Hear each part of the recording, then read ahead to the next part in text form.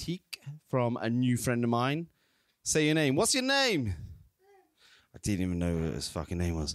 So I'm going to speak slower. I'm going to read three poems from quite a while ago. And uh, if anything, you might enjoy them. Uh, I don't know. Well, let's see. So this is a poem that I wrote when I lived in Vancouver. I'm 37 now. Um, I was 22 at the time. So see how it goes. There. Not written well of happiness. The mountain range stretches, snow capped while summer furnace, as I lay la- as I lay idle on the beach. My pill headed lover, searching far beyond her, within the martin pinescape, toward the black bear path.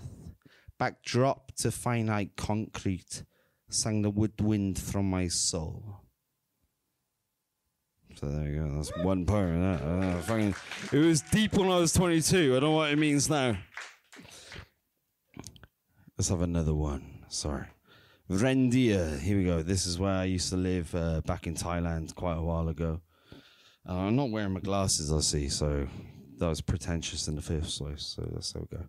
Uh, um, and this is for Teachers' Day, by the way. I we- I'm wearing a tie and I've got a short sleeve shirt with tattoos. I look like a bus driver. There's nothing wrong with that. Rendia. My parents call them sad meals. Microwave for one. No prep, low cost, no love. High in salt. I live off of sad meals now, and sometime she'll come by when she's finished her work at three or four, and I'm still awake because I've been sat up drinking and smoking, maybe writing, more often than not, not. You're fat, she'll say. Sure, I'll joke. You're the only exercise I need.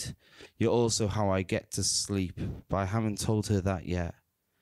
I sit up, drinking and smoking, and for a change, I'm writing. I finish my sad meal and use it for an ashtray and pour some beer on the ash and curry remains. 3 a.m., 4 a.m., she may come or she may be with him or him and him, wherever she'd chosen to pay. Yeah, I used to live in Pat. Yeah, uh, the first place I used to work. Yeah, so you can guess who Rendier was. Sorry, ladies, uh, that's not cool. Um, is what it is.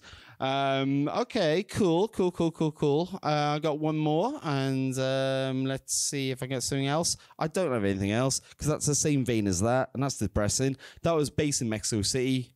That's enough of that. To the next poet. Thank you very much. Diolch.